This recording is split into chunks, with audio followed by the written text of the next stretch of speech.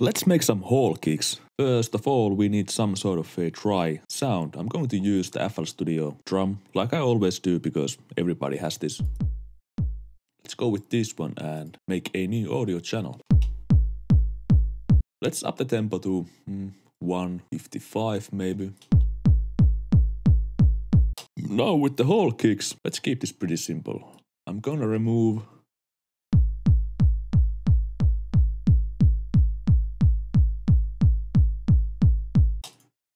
Let's make this a little bit more gentle.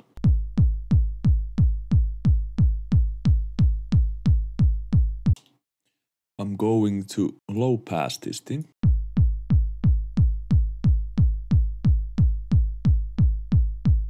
Like so. Next up we need to add some distortion to this thing. I'm going to stick to stock plugins for now. Let's go with Distructor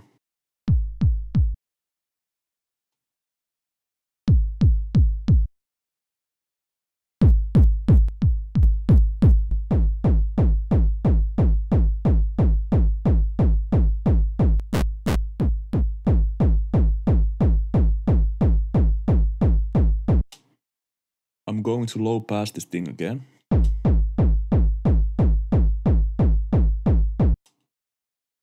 Now let's add some reverb. Automate the wet level. And let's merge this sound a bit, make it more mono.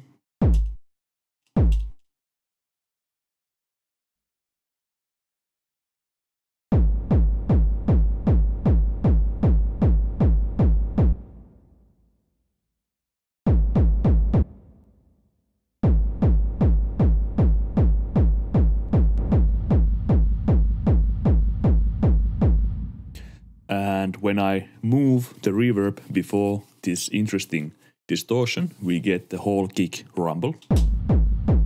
And the reason for the high passing is that we don't want to reverberate those high frequencies. They can sound pretty nasty.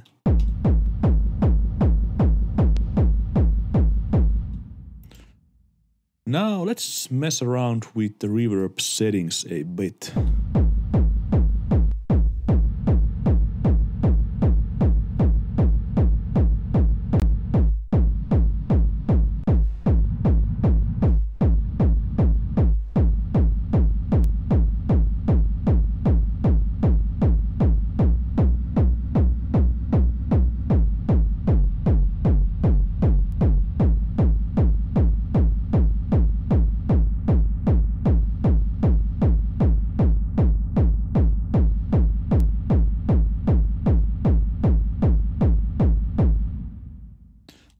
I might not like this distortion. Let's try to add some more distortion.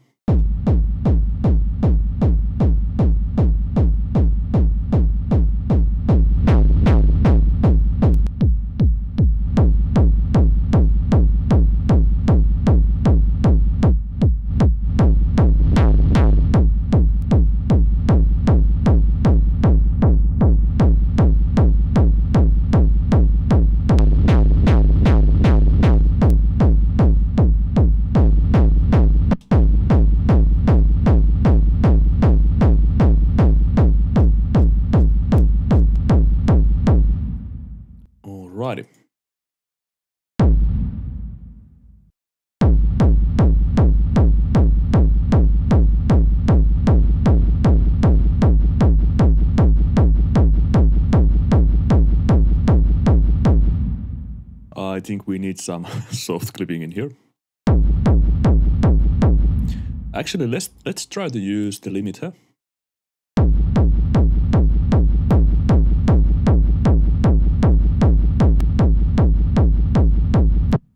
The limiter works really good with this sort of sounds. So many people dislike this limiter because it can be pretty grabby and digital sounding. But with this sort of sounds, it works really great as a limiter. It has a sound to it, in my opinion.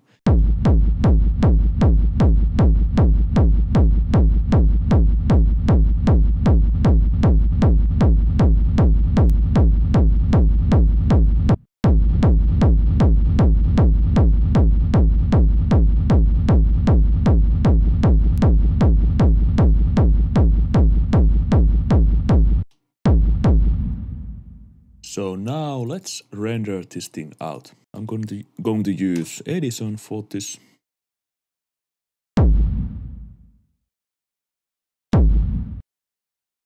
Drag this here. Maybe I like to do this first.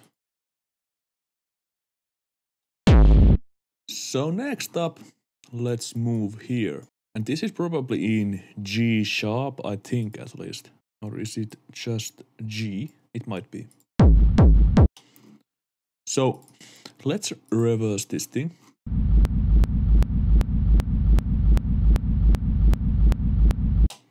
Now let's look for some sort of a kick.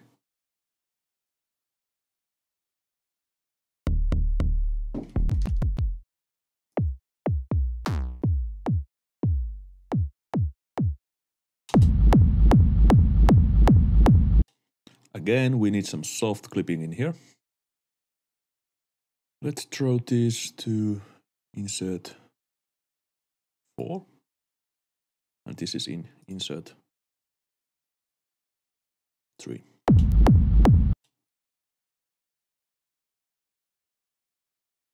I'm gonna route this to a bus channel.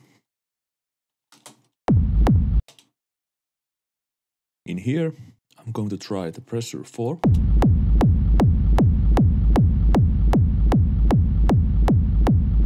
This is a Airwindows plugin.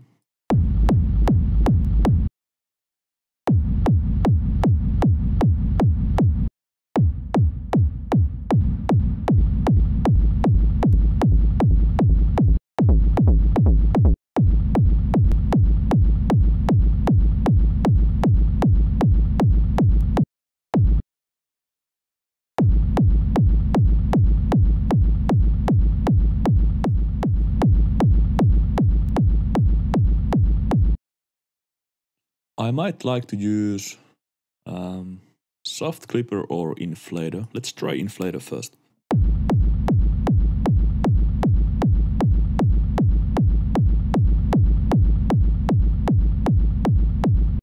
All right.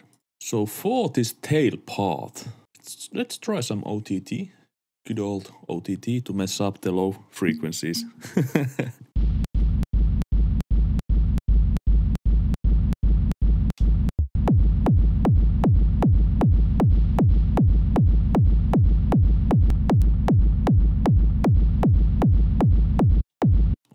let's go with this.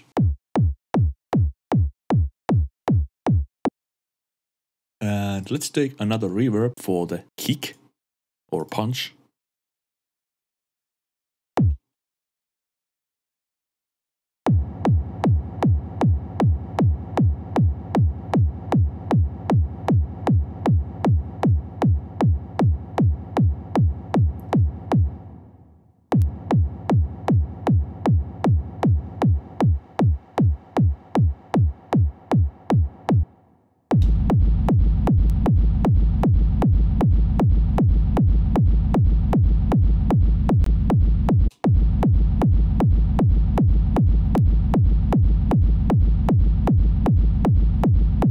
Now we can try to find some sort of a percussive sound to layer on top of this thing using the pogo knob.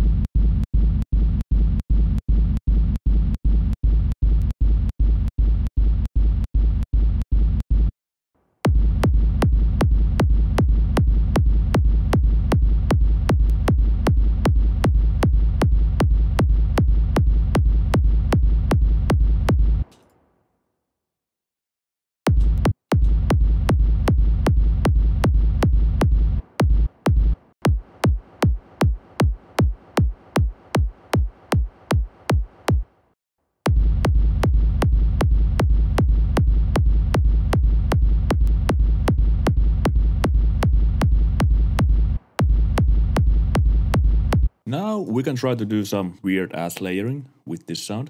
I'm going to send this to this track in here.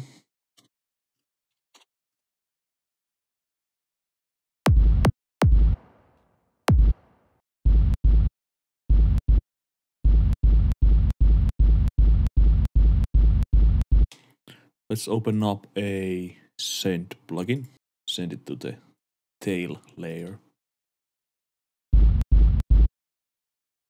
Now in here, I usually like to try something like guitar rig.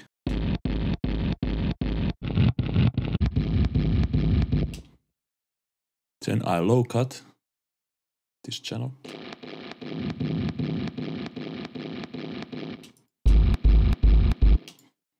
And I'm gonna use the DUC plugin to do some sidechaining.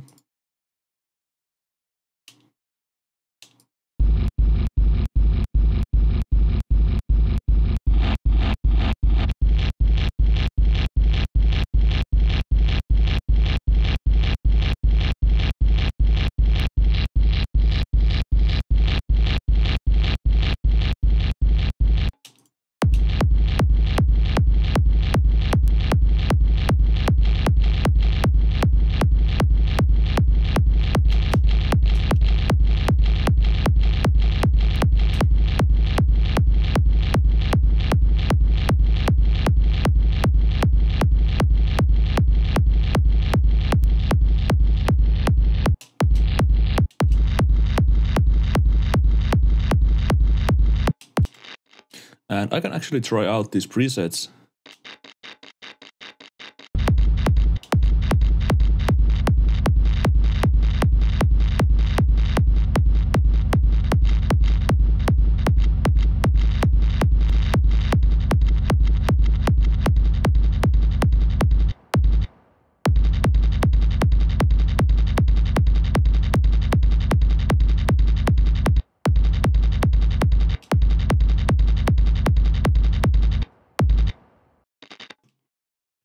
I want to try something different with the guitar rig, so I'm going to clone this one.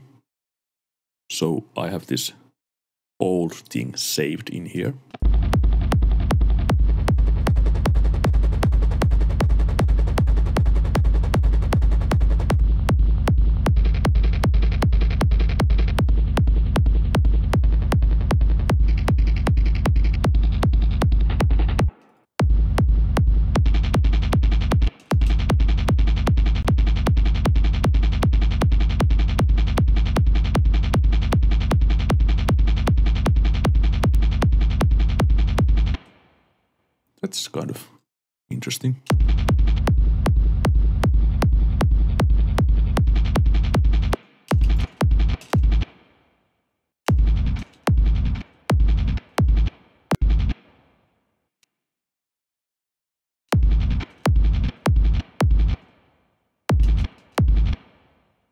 Alrighty, in the bus channel, uh, let's use the not so secret weapon, Neutron 3.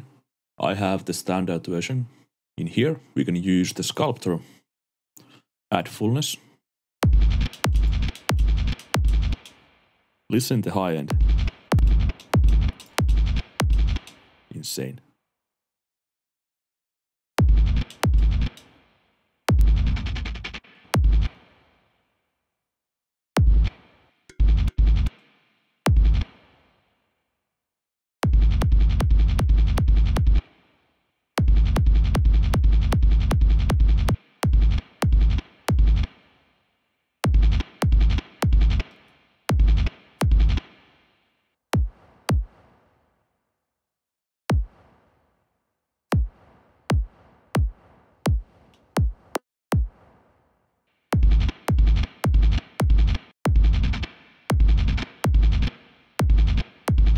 Let's see how this looks.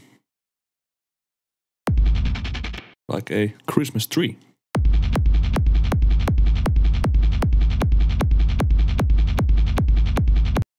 Yeah, so let's compress this just a tad bit. I'm gonna try out some different plugins for this.